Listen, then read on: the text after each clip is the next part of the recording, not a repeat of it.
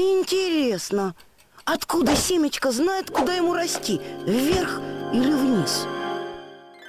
Силой, которая определяет направление, в котором будут ориентированы корни и побеги прорастающего семени, является сила притяжения Земли.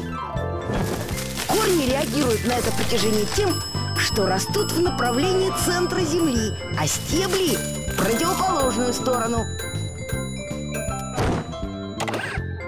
Ученые заметили, что независимо от того, каким образом посадить семечко, корни все равно будут расти вниз, а стебель вверх.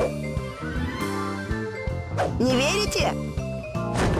Проверьте сами.